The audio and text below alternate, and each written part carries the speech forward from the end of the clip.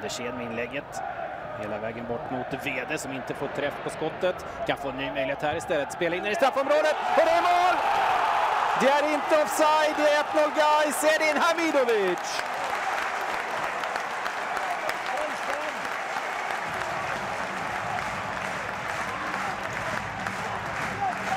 Tionde målet för säsongen för Hamidovic.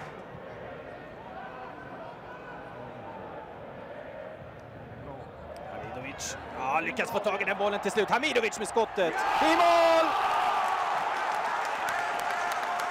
Det är 2-0 för Gais. Det är Hamidovic igen.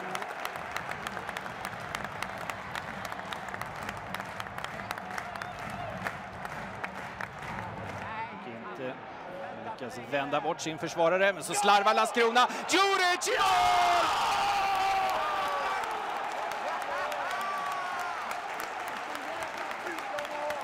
Är det ett nytt eh, jättemisstag i Landskronas backlinje. Dusan Juric gör 3-1.